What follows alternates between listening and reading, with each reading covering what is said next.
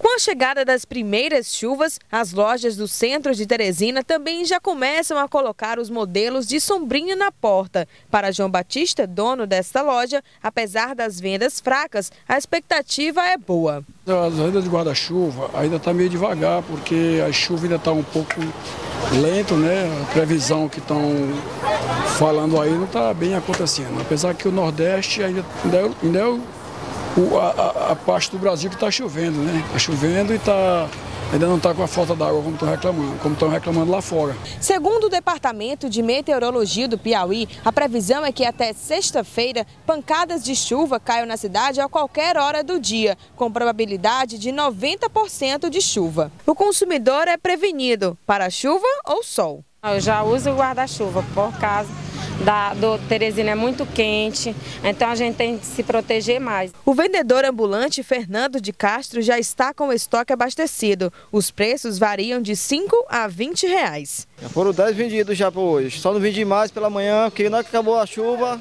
acabou a venda. Mas na hora que começa a chuva, começa a venda de novo.